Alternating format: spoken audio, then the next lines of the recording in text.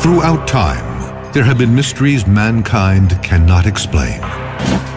But advances in technology have led to new theories, and the search is underway for evidence that may unlock the most baffling questions of our time.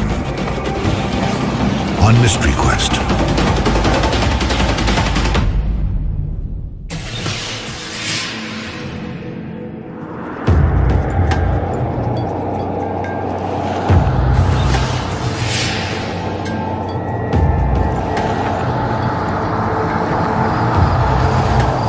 The night sky is calm and clear.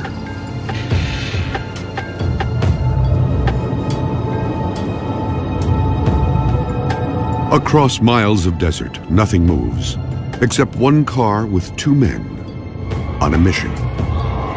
I could prove it. I know the place.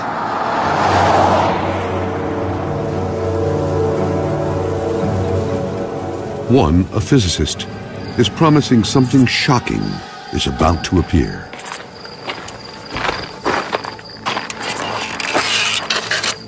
It'll show up just over that ridge.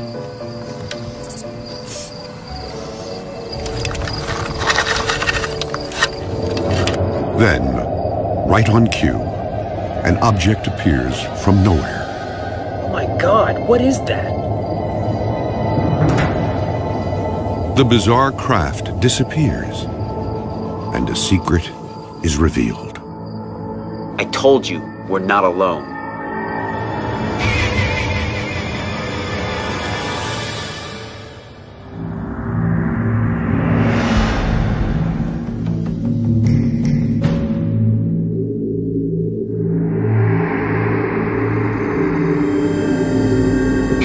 Questions about the existence of alien life have persisted for decades. Even more speculation surrounds the U.S. government and what it really knows. But amid the theories, there is one certainty. A belief that the public isn't being told everything. The conspiracy theories surrounding Area 51 are numerous. People use this as a blank slate on which to draw their darkest fears. While records are by no means complete, there have been thousands of reported UFO and alien encounters. From a mysterious crash in 1897, six years before the Wright brothers' first flight, to the Battle of Los Angeles in 1942, when UFO reports triggered massive anti-aircraft fire over the city.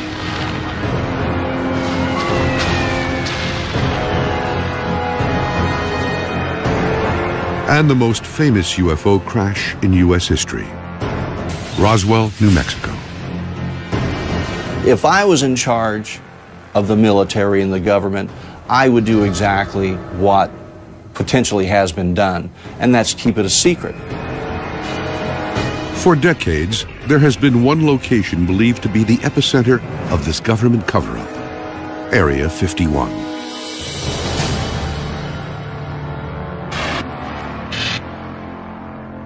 The military base is located in the midst of the Nevada desert, 85 miles north of Las Vegas. The name refers to a grid number found on an old map of the much larger site called the Nevada Test and Training Range. Built in 1955, reports of strange and unusual activity emerged almost immediately. Yet there is no official documentation the location even exists. Up until uh, recently, it's been denied that it even existed, even though people knew about it. So that, to me, that's a mystery. Over the years, a portrait has emerged of this mysterious place. Many believe its primary purpose is a testing ground for the government's clandestine spy plane program. Today, Area 51 is very active. They've built new runways, new hangars. I mean, there's, there's some two dozen hangars there, so that's evidence that there's a lot of programs going on. Area 51 was created as a testing base for secret aircraft and secret weapon systems. That's all we know for sure, and that's all that the solid evidence is telling us. But others believe these secret weapon systems are simply a smokescreen to cover the real story. In 1989, details began to emerge of a program that went far beyond spy planes. There's a huge underground base out there, and that's where they work with the aliens. As hard as it is to believe, it's true. I mean, there are aliens all over the place. If you and I walked in on everything that was being done, I'm sure we, we would be flabbergasted. We probably could not conceive all the different types of testing or even try to comprehend some of the technology.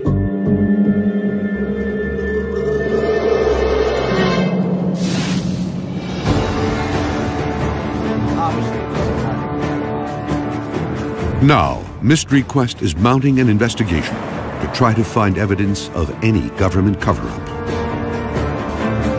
The expedition team will look for physical evidence of UFOs in the desert surrounding Area 51. To do this, they'll search the sites of reported crashes. Pete, I think we found something here. You may want to come take a look at this. The science team will test recovered metal fragments and determine if they are from Earth or another world. What do we got? Mystery Quest will also talk to a former U.S. Air Force pilot who says the government is actively seeking to cover up knowledge of alien encounters. It's registered top secret. You can't tell your wife, you can't tell your commander, you can't tell anybody in the squadron. The team will also position cameras around the perimeter of the base and look for any anomalies that may appear in the desert sky. And use a powerful telephoto lens to glimpse further into Area 51 than ever before. Right, here it is. And our investigator will examine a new location to determine if the government has moved its alien operations.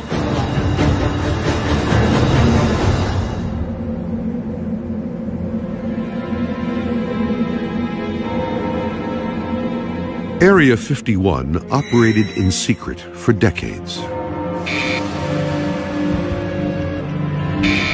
A lot of people think that there's UFO activity at Area 51 with good reason. I mean, because of such a secretive nature. And the cat was let out of the bag by Bob Lazar.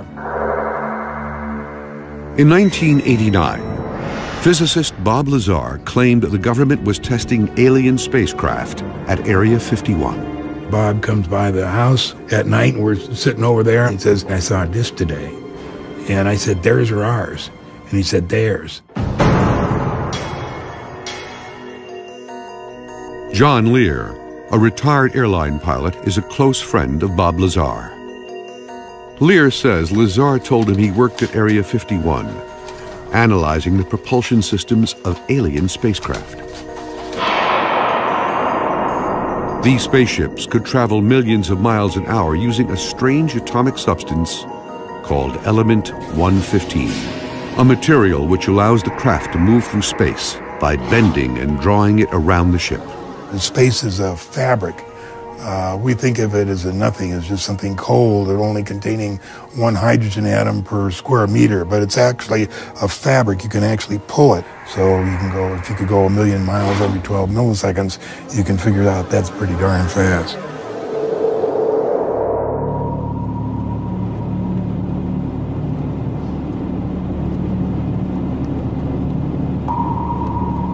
To prove his claims, in March of 1989, Bob Lazar led John Lear to a location outside the base.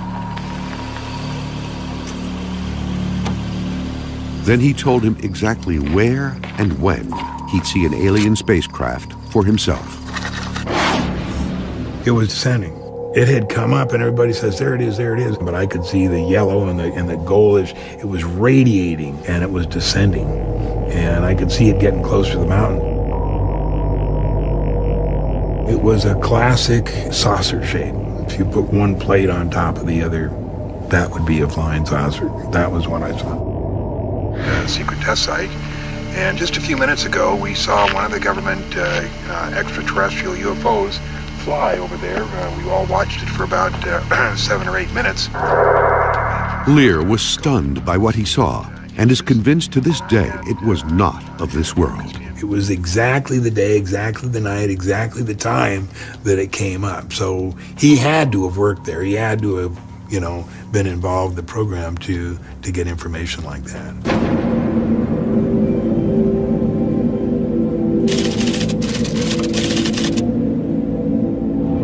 The expedition team is near Area 51 in an attempt to determine if what Lear and Lazar saw was real.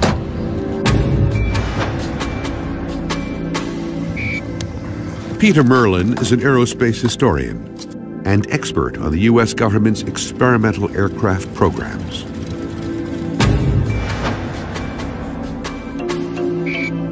Mark Easter is the International Public Relations Director of MUFON, the Mutual UFO Network. MUFON is the world's largest civilian UFO research organization. Their first task is to set up camera traps that will continuously scan the skies for 48 hours, looking for any signs of activity. We're on the Highway 375. We're headed towards Groom Lake Road, which is here, and we're going to get up on this side up in the desert and uh, put the surveillance cameras up in this area here. There's less chance of somebody, you know, happening across it, even for 48 hours, and see what happens.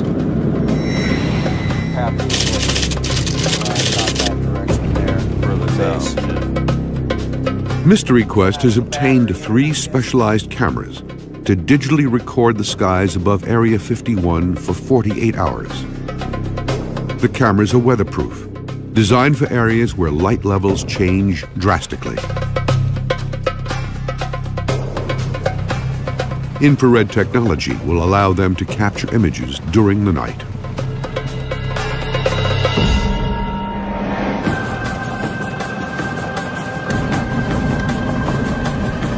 But penetrating a possible government cover-up is no small task. And almost immediately, the team's investigation meets resistance. Does he look like he might come this way, or is he going to stay put? I don't know. I don't know what's going to happen.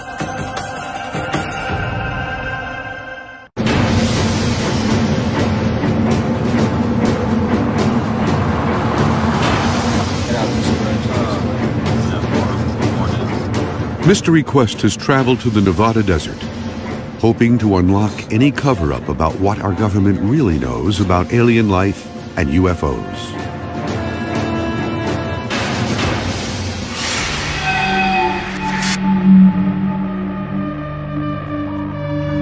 UFO sightings have been reported around the world for centuries.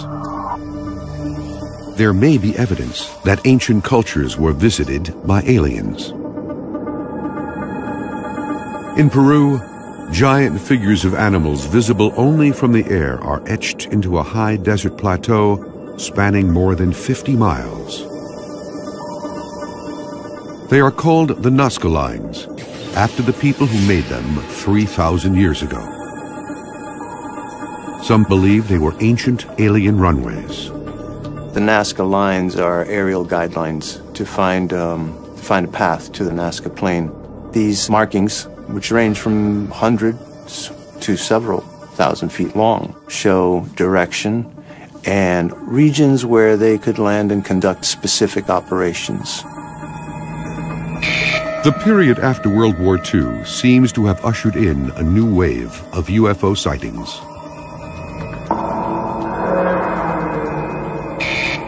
The most famous alien incident in history occurred in 1947 in Roswell, New Mexico. Reports emerged that the military had recovered a crashed flying disc from a ranch near Roswell, and suspicions of an intricate cover-up have been rumored for decades. Parts were recovered, bodies were recovered, so the word went out before the military industrial complex could get its hands on it and choke it. It is now known that governments around the world have also been keeping meticulous files on UFOs for decades. The United States has yet to fully release its files. But in 2008, the British government opened its files to the public. The reports were astounding. Thousands of unexplained UFO sightings.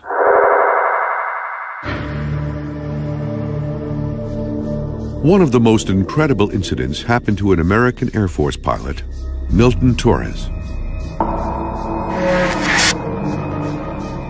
In 1957, Torres was stationed at a Royal Air Force base in Leeds, England.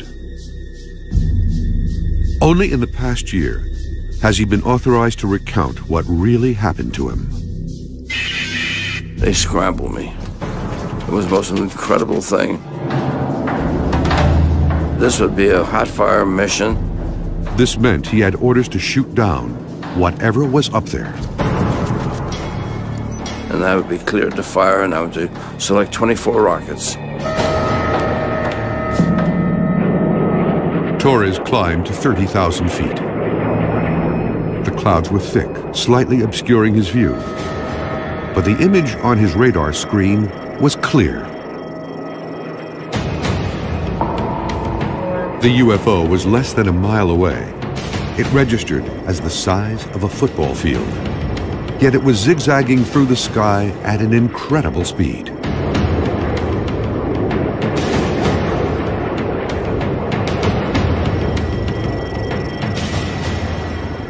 I saw it going up at about Mach 10, uh, 10,000 miles an hour. We didn't have the SR-71, we didn't have the F-22, we didn't have anything that could go anywhere near that speed.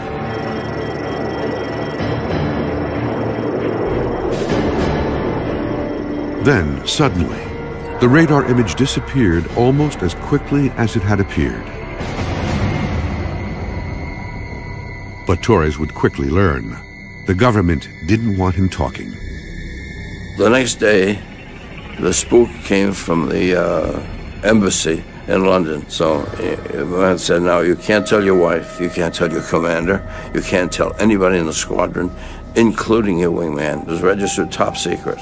If you say anything to anybody, we'll take you off flying status. Well, I just got, I worked hard to become a fighter pilot. I wasn't about to lose that, so I been shut my mouth. Some argue that what Milton Torres observed was only a radar anomaly. But more than 50 years later, the career pilot is convinced about what he saw. Anybody who tell me some bullshit story, uh, and the Air Force with the weather balloon crap, that uh, weather balloons don't go Mach 1. This thing was going all kinds of speeds. So whatever it was, it was not made of this earth.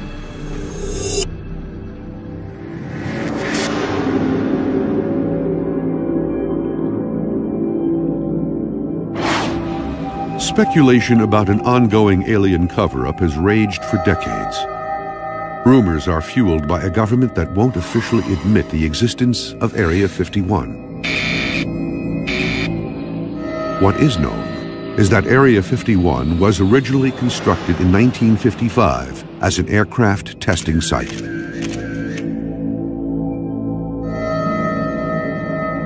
Today, Satellite images confirm what appears to be a military facility. Two dozen buildings along with a 5,000-foot runway. Even the airspace around Area 51 is restricted. Even aerial surveillance is, is, effectively impossible. Planes aren't allowed to fly over. There are reports that uh, astronauts have gotten into trouble for accidentally managing to turn cameras uh, down onto that area. And people living in the small town of Rachel, Nevada, just outside the base, have long reported strange happenings. A local inn owner believes she actually saw something extraterrestrial. It was between 8:30 and 9:30 at night. The beam of light came through the back door and it shot about six feet into the room. It illuminated the entire door jamb. In Area 51, do I know what's going on for sure? No. Do I believe there's all kinds of testing going on, not just aircraft? Yes.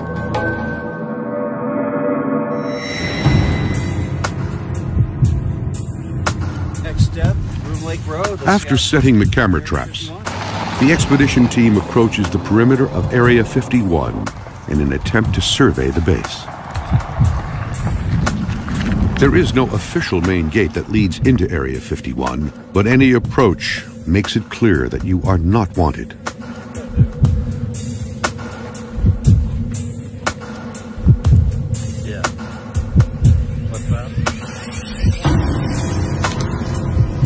Signs warn against trespassers, while orange posts mark a nearly invisible boundary.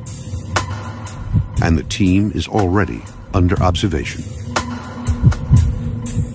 They've uh, even got remote cameras up there, so that guy doesn't even really need to be there watching us. He's just there in case we cross the border. I don't know what sort of telephoto they've got. They can probably read our license plate from there. The guards are part of a private security force that monitors the perimeter of Area 51. They're authorized to arrest anyone who crosses.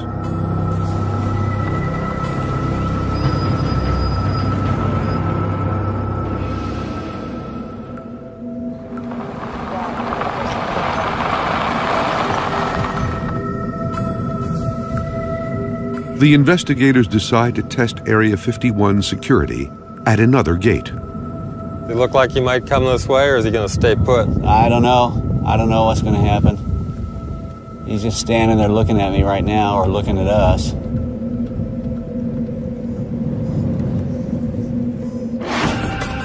Merlin and Easter realize their investigation into Area 51 is going to require a new strategy. The next attempt could lead to a new discovery or their arrest. I honestly don't have a good feeling about this.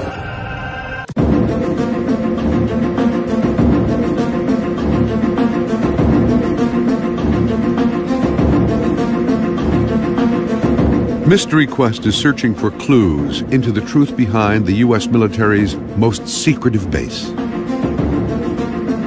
Many believe the government is involved in a cover up of recovered alien technology and life forms.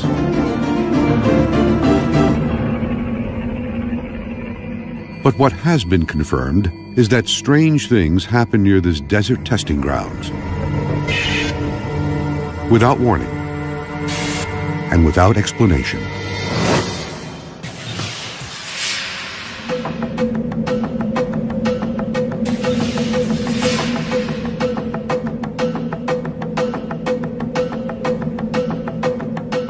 A young family sits down together for dinner. Suddenly, the walls begin to shake.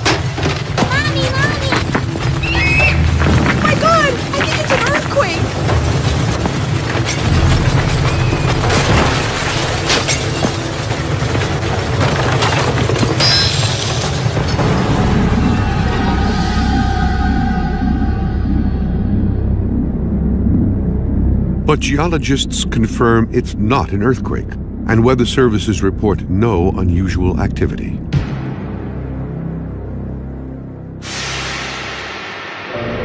This mysterious wave is called a skyquake, but its origins are completely unknown.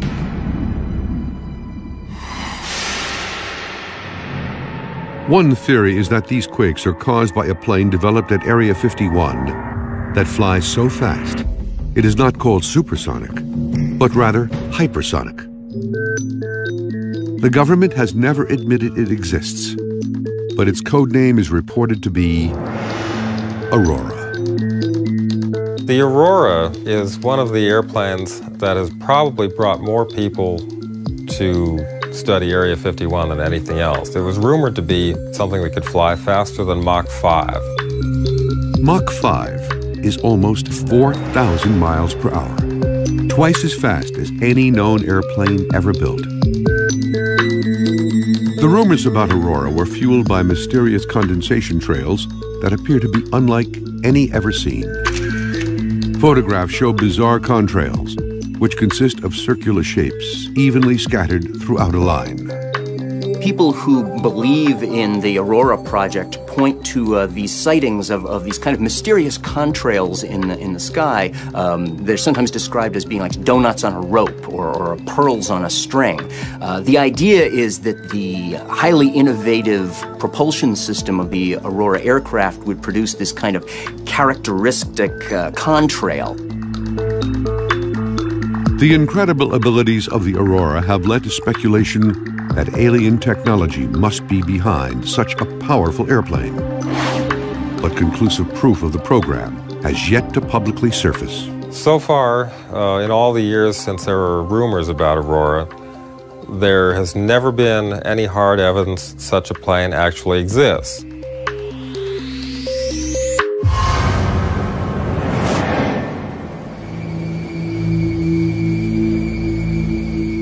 Area 51 may not be the only secretive government test facility with an extraterrestrial connection. Many believe there could be an alien research network of locations around the U.S. and the world. This thing has grown uh, worldwide, and you have to have support, logistics, uh, and uh, landing sites for craft. Any place where the space shuttle can land in an emergency, you can bet that that's part of the, the Area 51 system. There are reports this network includes the Atlantic Undersea Test and Evaluation Center, or AUTEC, the Navy's ground zero for evaluating advanced technology. The base is located off the Florida Peninsula on Andros Island in the Bahamas. They have a, a natural laboratory for the testing of uh, submarine technology. And if you think of a, a, submarine, you really will get a good idea of what a UFO is. Because a UFO is basically a submarine that can come out of the ocean, go into the air, and go into space.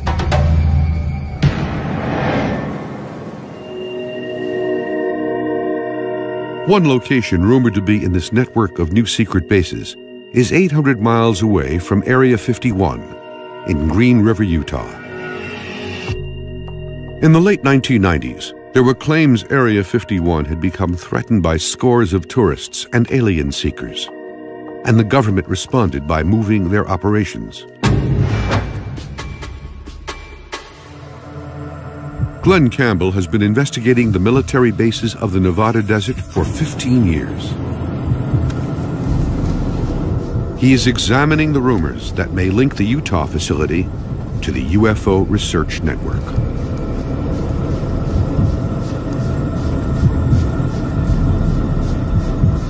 This looks like it. We're coming up on what looks like a gate. This is the main launch complex. This is the heart of this supposedly secret facility. I'm going to get out and check it out. The facility was once part of a huge missile test range called White Sands. Man, we got here just as a, a monster, a monster storm is blowing in from the west. This is what I think is the, the central launch complex. It seems to be in the center of the pads. I don't know what's in here exactly. They got this big old steel door.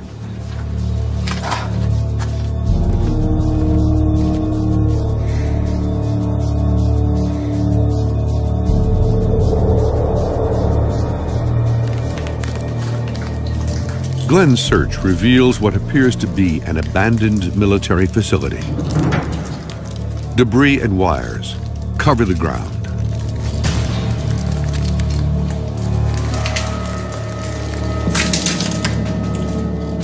More importantly, there is no evidence of alien or any other research activity.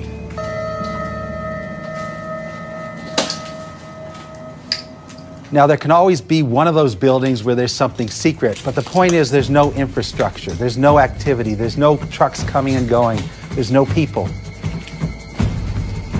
This is a dead facility. This is not the new Area 51.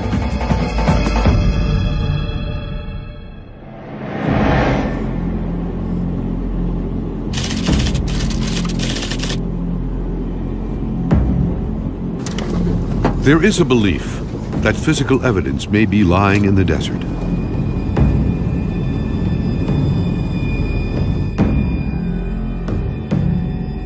Now, the expedition team is on the hunt for that evidence. Peter Merlin became aware of a location outside Area 51 where a crash once occurred. Now, how did you find out about this location here? I heard about it from some ranchers who lived out there back in 1967. Something came streaking out of the sky, slammed into the desert, and exploded. Pretty soon, Air Force guys showed up in helicopters and trucks and kicked them off the land, told them to forget what they'd seen, and then they cleaned up whatever was left.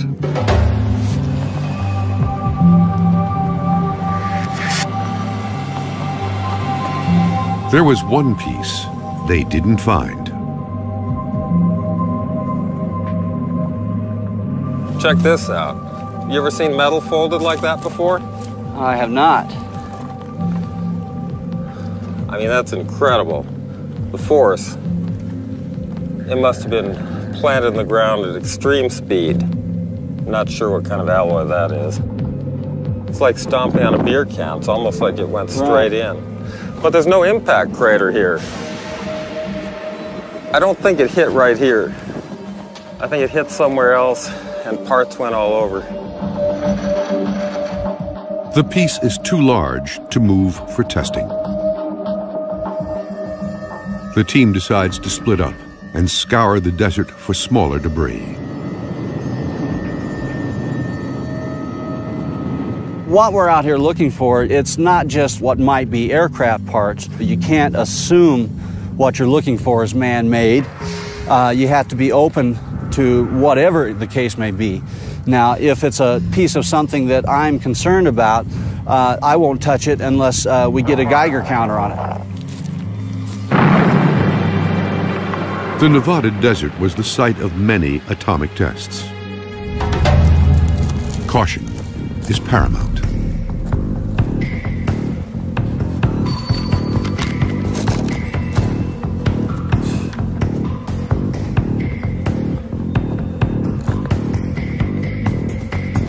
Pete, I think we found something here. You may want to come take a look at this. Suggest you bring that Geiger counter with you. Will do. Let's the twisted piece of metal is about six inches long, and small circles appear to be bolt or rivet holes. I think we're okay. Looks pretty clean. What do you think? It's very distorted. Looks like it's been subjected to a lot of force. It's clean. Well, this is definitely downwind from that uh, piece that you found.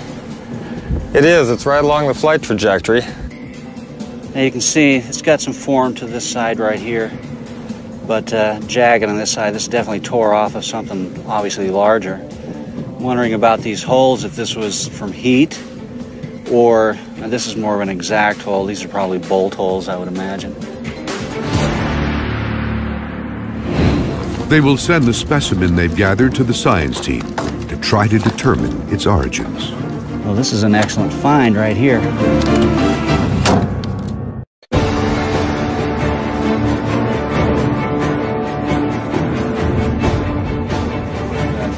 Mystery Quest is investigating whether the U.S. government is hiding a UFO research program at Area 51 and other locations. There is only one place to get a clear view of Area 51. It is called Tikaboo Peak, an 8,000-foot summit 26 miles from the base.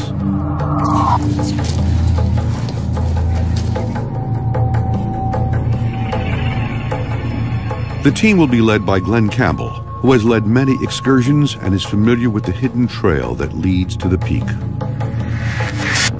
But this trek is different. Oh my God! now wow. that's a big lens.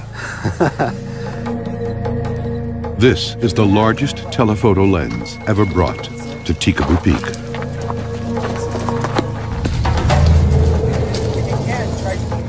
It can zoom 66 times further than a standard lens.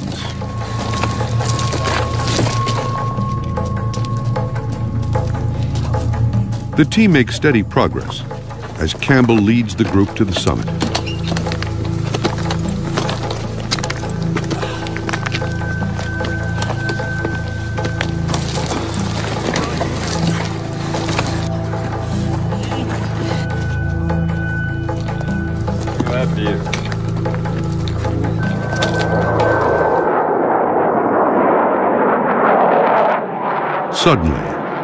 Fighter jet appears.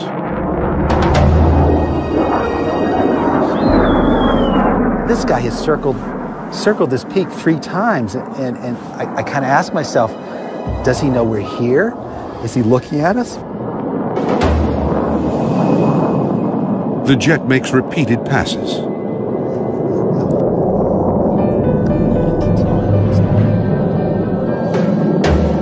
Man, he's coming down really low, right, right, right through the uh, the valley there. Wow.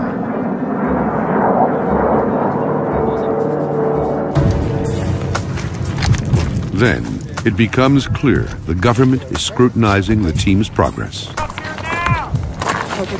yeah. Thank you. Coming! Coming! A military helicopter suddenly swoops in for a closer look. Man, they have to be here for us. Is he circling this peak? He's circling the peak. He has to be here for us. Well, there's no question. He's here for us.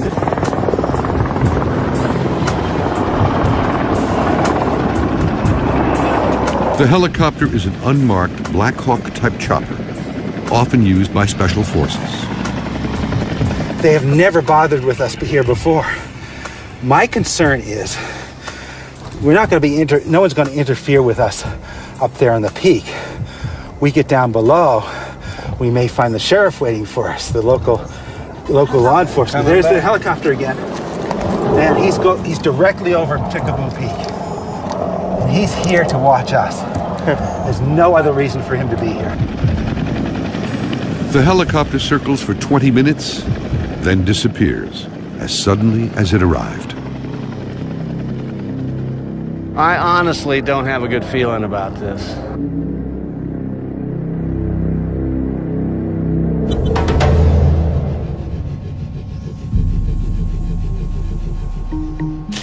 The science team has received the wreckage from the desert. Dr. Jerry Delaney at Rutgers University Lab will oversee the testing using an electron microprobe, a device that can determine almost 100% of the elements that make up any object. Dr. Delaney will test for anything extraterrestrial. There are very distinctive features that are the signature of the trip through the Earth's atmosphere. Anything that comes through the atmosphere, whether it's a stone the size of my thumb or uh, a spaceship, is going to heat up and it can form a, a crust in some circumstances.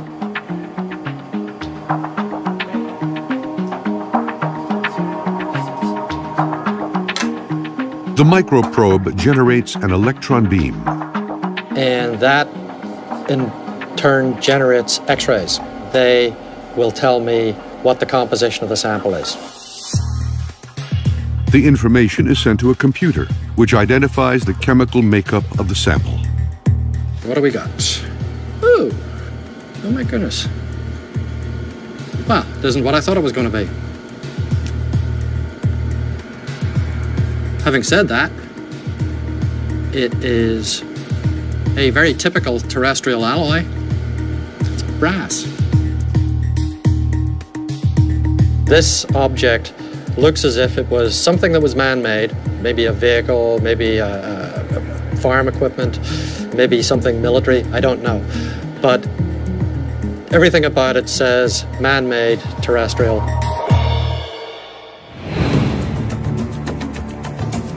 The expedition team continues to investigate. Camera surveillance could provide proof of the conspiracy as new evidence is discovered at the top of Tikaboo Peak. This looks like new construction. I mean, uh, other times I've I haven't seen this thing here before.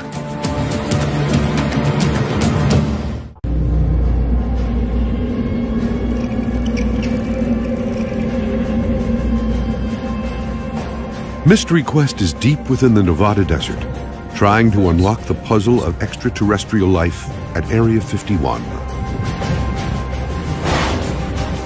This commercial aviator believes that the government is reverse engineering alien technology at Area 51. This Air Force pilot says he encountered an alien craft at 30,000 feet.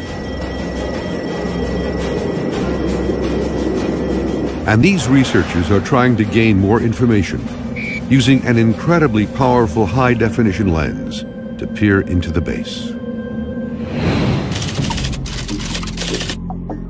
The team has climbed 8,000 feet to capture the closest images ever taken of Area 51.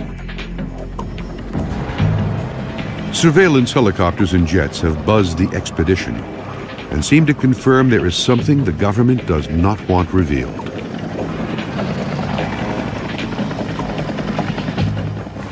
All right, there it is.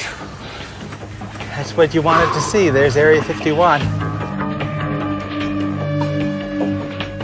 The team looks at recent satellite images providing a bird's eye view of the base. They'll compare these images to what they see through the high definition lens. New construction would prove that Area 51 is an expanding facility.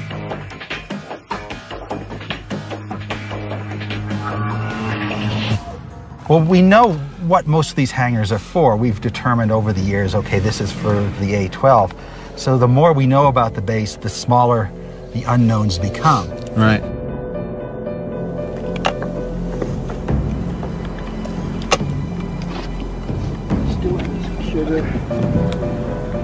What do you see? The team examines the base through the powerful lens. Multiple buildings and runways are clearly visible on the monitor. But no cars or people are observed. Then, Glenn Campbell notices something. This looks like new construction. I mean, other times I've I haven't seen this thing here before. Wow, what what do you suppose it's for? Well, it's big. And what do they need a hangar that big for? Campbell spots a large hangar, which appears much smaller in the satellite photo. And something new implies a new program of some sort, doesn't it?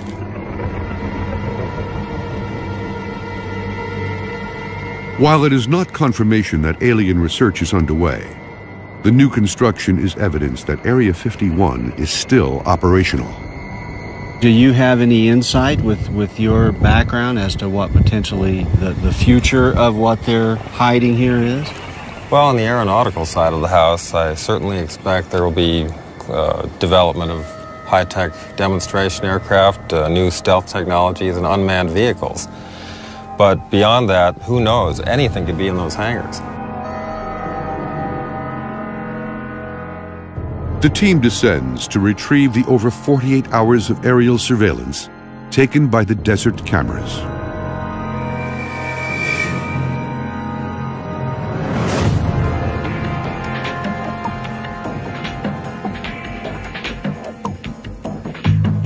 This is actually the turnoff here. The footage reveals two possible sightings. In one scene, an object seems to appear, then quickly vanish in the sky above the ridgeline. In the second, a procession of lights drift near the horizon. But careful examination has revealed these anomalies are not evidence of UFOs. The first was determined to be a sudden cloud formation. In the second video, a series of lights appear on the horizon. However, after examining the evidence, the team concludes these lights are most likely headlights from passing automobiles.